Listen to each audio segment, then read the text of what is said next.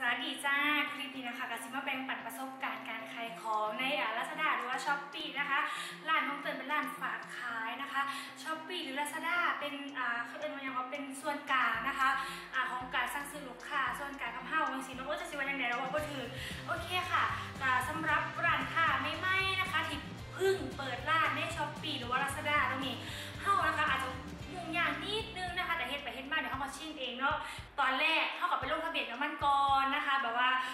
ลงทะเบียนลงซื้อลงอย่างให้มันเรียบร้อยนะคะแล้วก็ที่นี่อันดับแรกเข้าต้อไปเติมสินค้าของเขาหรือว่าการลงสินค้าของเขาว่าเขาสิขายอย่างนะคะเขาก็สิลงรูปนะคะลงรายละเอียดสินค้านะคะลงหมวดหมู่ที่มันกำหนดมา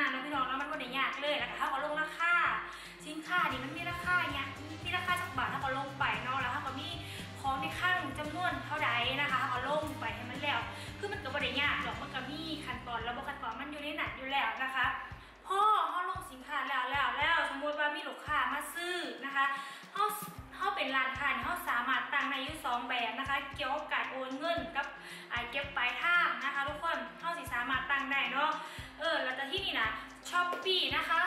ถ้าเติ้นจำว่าพิษช้อปปี้เอาค่าบริการทำเข้าประมาณ2%หรือ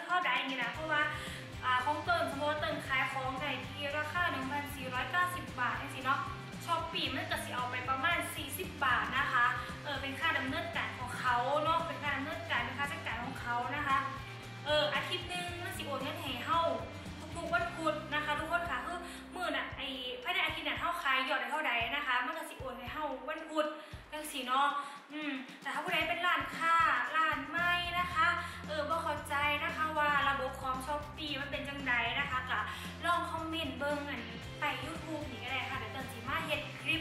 อธิบายนะ